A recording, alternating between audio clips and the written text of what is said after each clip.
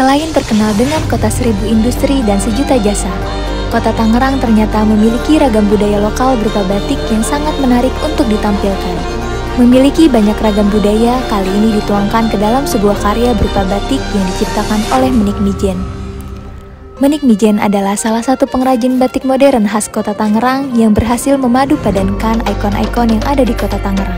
Seperti motif batik yang berada pada batik kreasi Kecamatan Cibodas dengan ikon bendungan pintu air 10 Cisadane yang mempunyai filosofi sebagai simbol kemajuan teknologi dan pengelolaan sumber air di Indonesia.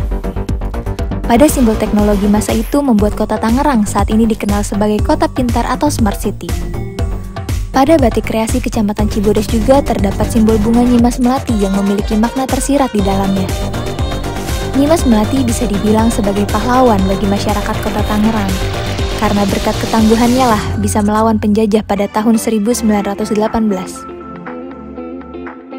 Tidak hanya itu, ikon simbol lampion yang ada pada batik kreasi Kecamatan Cibodas melambangkan sebuah cahaya yang dapat menerangi masa depan.